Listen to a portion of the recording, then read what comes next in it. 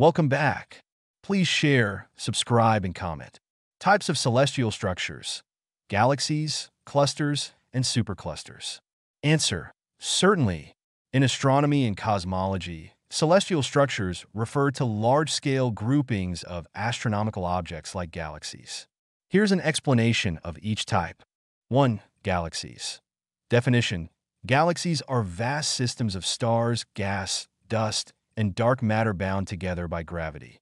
They come in various shapes and sizes, ranging from small, irregular galaxies to large spiral and elliptical galaxies. Types Spiral galaxies, characterized by a central bulge surrounded by spiral arms, e.g., Milky Way. Elliptical galaxies, generally spherical or elliptical in shape, containing older stars and little gas and dust. Irregular galaxies, lack a distinct regular shape, often smaller and less organized than spiral or elliptical galaxies. 2. Galaxy clusters. Definition Galaxy clusters are collections of galaxies held together by gravity.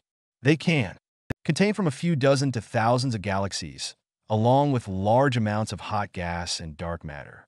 Types Regular clusters typically have a spherical or elliptical shape with a concentrated core of galaxies. Irregular clusters lack a clear, concentrated core and may have a more diffuse distribution of galaxies. 3. Superclusters Definition Superclusters are the largest known structures in the universe, consisting of clusters of galaxies bound together by gravity. Characteristics They can span hundreds of millions of light years across. Superclusters are interconnected by vast voids that contain relatively few galaxies. They are thought to be the largest scale structures formed by gravitational interaction in the universe. Key points Formation Galaxies form clusters and clusters can form superclusters, influenced by gravitational attraction and the distribution of dark matter. Observation These structures are observed through telescopes and inferred from measurements of galaxy positions, velocities, and distributions of cosmic microwave background radiation.